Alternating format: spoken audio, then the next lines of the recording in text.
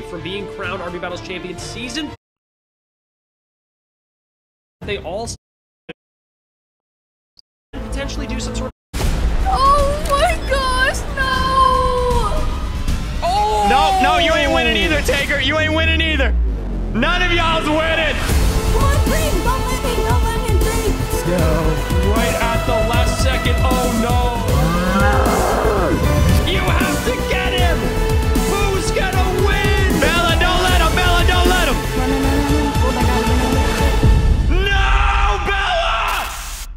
Let's read the results. Denis put up a good fight, but wasn't quite able to earn enough points to move on to the final four.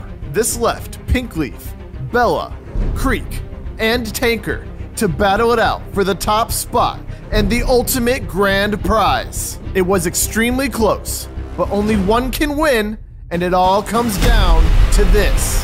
Despite the ping problems, one competitor defied all odds and just barely came out on top with an epic comeback victory that will go down in RB Battles history with a final score of 10 points.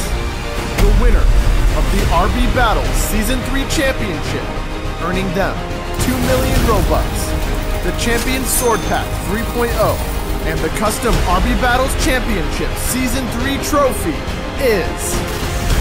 You have